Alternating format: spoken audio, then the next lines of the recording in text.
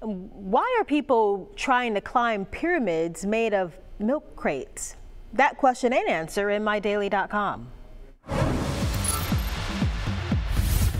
We've seen these types of challenges before watermelon and mustard, the get up dance, or the without telling me challenge that can be used for just about any scenario. All are different with different outcomes, but not quite dangerous, like what's going on with this. The Milk Crate Challenge. It seems to be turning people all over into stars of the latest You Know What movie. A new and potentially bone shattering challenge taking TikTok by storm, proving to be difficult for those, well, brave enough to try. It requires people to stack milk crates into a pyramid up to seven crates high, and then you gotta try to walk up and down both sides without falling. Milk crates aren't the sturdiest. Many people have failed miserably.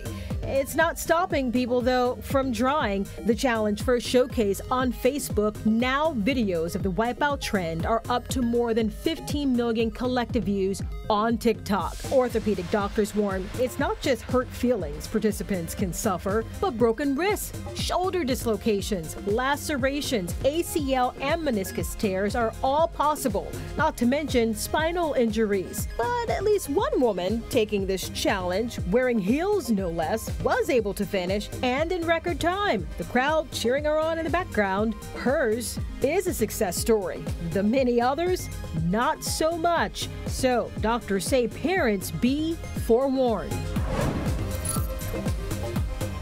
Yeah, and I reached out to a local ortho and sports medicine doctor. He tells me he hasn't seen this trend locally, but he adds if it starts with something like, seemed like a great idea at the time, or hey, watch this, that's your clue.